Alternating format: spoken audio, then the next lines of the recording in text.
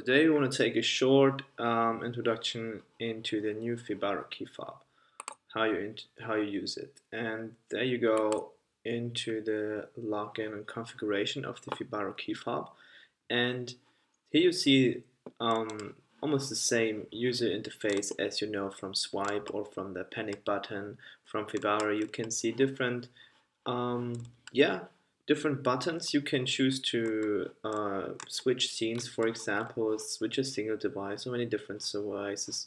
So for example when I want to add a new reaction to my um, square I can choose as you know from the magic scenes one scene or a specific device however you want it.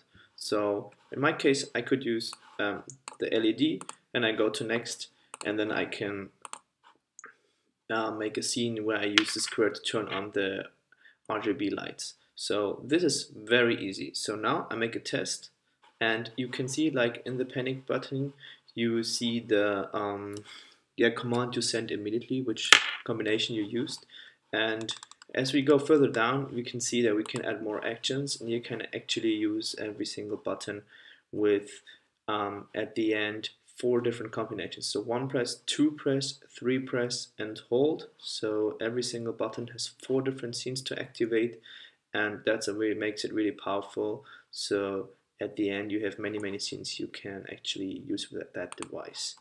Okay, but now coming and taking a look at the advanced configuration because here is something very new and unique Fibaro made with this device. It's called lock mode. So when I want to use the lock mode, I go inside here and then um, I have to make an unlocking sequence. That's something like a pin, like a pin code. Because this key fob has no coverage, um, you can use a pin code. So now I'm using a pin code to unlock my device. So let's take this as a pin code and then go next. Then um, the time period after it auto locks. So I want to make it very short. So every time I press the button, afterwards the device goes into the locked mode again. So next, I have tells me to wake it up, which I perform by plus and circle. And here we go. Lock mode configuration successfully completed. Finish. So when I go now back to my interface, oh, um, I can see now, okay, here's a little thing so it is locked now. And when I press any button now I cannot do it. I will not perform it so I have to unlock it which I do now. And now I can press and then it actually receives it. After 10 seconds it will be locked again. Now it's locked.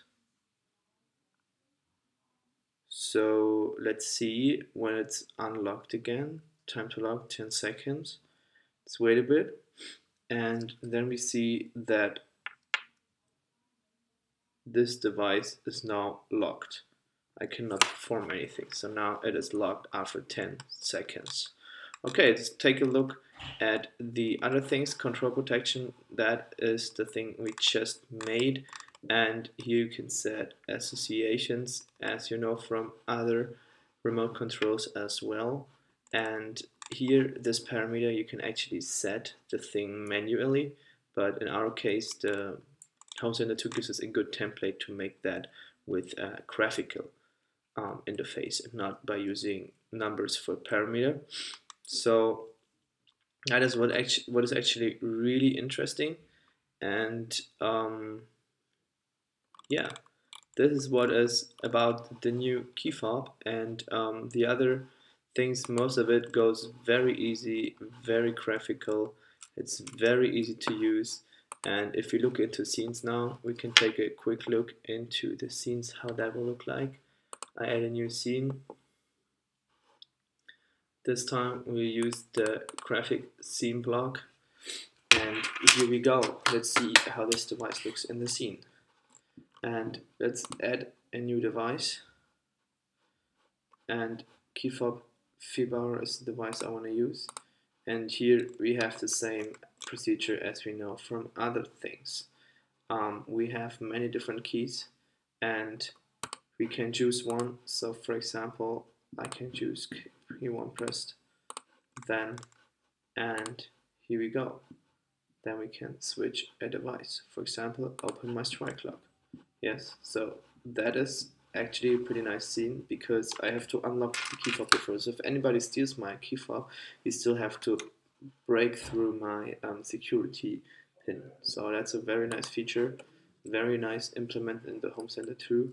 And that's basically its first hands on the Z-Wave key fob.